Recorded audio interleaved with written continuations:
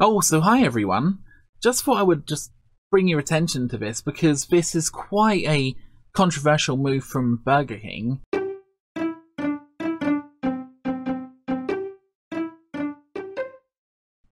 Police ask McDonald's to halt milkshake sales during the Farage rally. Perfectly sensible. So, Edinburgh branch also stops ice cream sales after right wing politicians targeted with drinks. This is perfectly fine.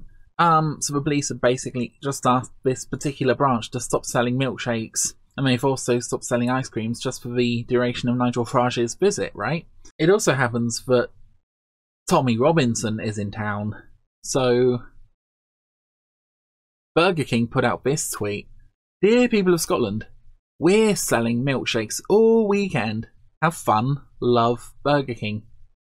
Hashtag just saying. So, this is kind of a bit of a cheeky post, but it's also kind of a bit sinister, right? Because I don't actually agree with throwing milkshakes over people you disagree with politically because I think it's a threat. And the threat is that this time it's just a milkshake, but next time it could be something much worse than a milkshake. I don't need to go into details, you know, there's a lot of people who have suffered horrendous attacks from acid and other chemicals like bleach, and you know, this is kind of like a soft threat, right? This time it's just milkshake, but next time you better watch out, you better do what we say. So yeah, I, I just find it very threatening. And then Burger King clarified, we never endorse violence all wasting our delicious milkshakes. So enjoy this weekend and please drink responsibly, people.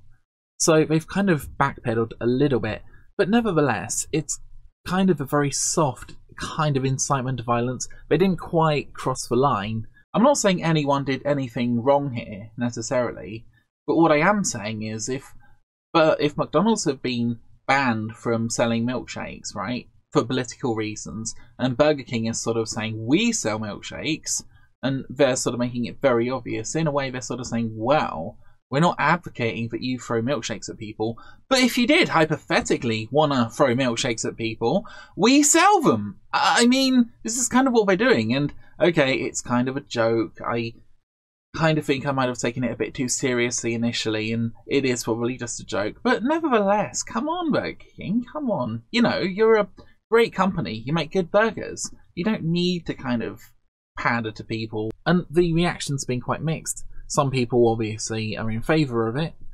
I don't know why anyone would be in favour of assaulting your political components in an open free democracy, which is what we have. But there we go.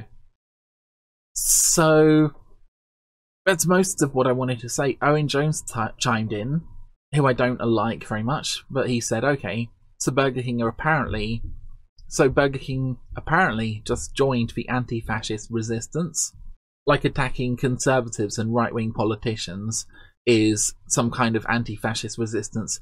There is no real fascism in the UK. You might get the occasional person who is slightly disturbed, but there is no mainstream fascist party, right? Because that would be completely ridiculous. Everyone's a Democrat. No one believes in violence even people like Tommy Robinson don't actually advocate violence, right? He might have said one or two stupid things. I'm not going to go into that now.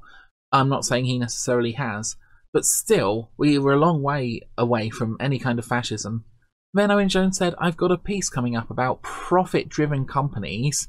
Oh, now all of a sudden they're a profit driven company, which really annoys Owen Jones. Maybe they should be nationalised. We should get burgers on the British National Burger Company yeah, Jeremy Corbyn, I can just imagine he's he's dreaming of that, thinking, oh, burgers should be owned by the people, they shouldn't be owned by private corporations. Profit driven companies, woke washing for commercial gain, so this tweet won't age well, just a heads up. I also very briefly wanted to say that anytime you initiate violence, there is always the potential that the violence can escalate, right? So you might think that throwing a milkshake is just harmless fun, but really it could lead to much, much worse, something much worse happening. Tommy was in Oldham in Manchester, which is probably what the Burger King tweet was referring to. No one got seriously hurt, but there were a few stones thrown around and there were a few people yelling about various things. So that's all I really wanted to say. Don't throw milkshakes at people.